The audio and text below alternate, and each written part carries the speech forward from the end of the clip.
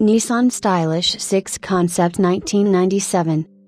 Next generation 6 seater utility wagon combining stylish design, environment friendly engineering, and sparkling performance.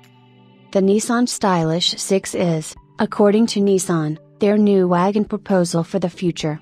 It was also an attempt to combine the size of a station wagon with the room and styling of an SUV.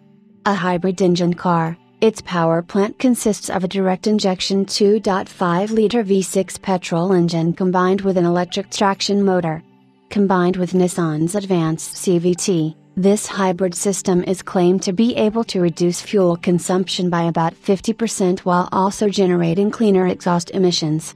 The long exterior means a very spacious interior and there are three rows of seats in the cabin.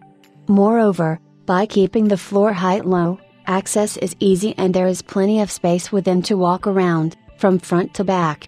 Nissan likens the cabin to that of an executive jet with top priority given to the comfort of each occupant.